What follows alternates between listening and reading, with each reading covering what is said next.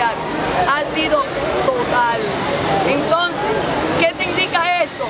¿A quiénes hay que revisar primero? ¿Mm? ¿A quiénes hay que revisar primero antes de buscar la violencia eh, y los abusos? Eso es más terrible que lo que está aconteciendo.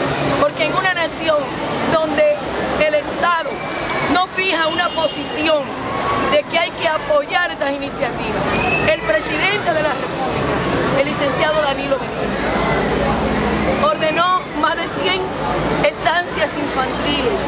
Eso es una iniciativa que y valorar.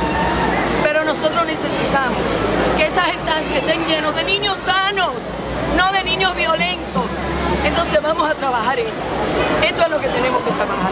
El Ministerio de Educación, con ANE, nos alegaron que hay austeridad. Que hay austeridad en el país. ¿Y tú crees que siendo los niños prioridad, como dijo un representante de la UNICEF, los niños no son objeto de, caridad, prioridad, en los países.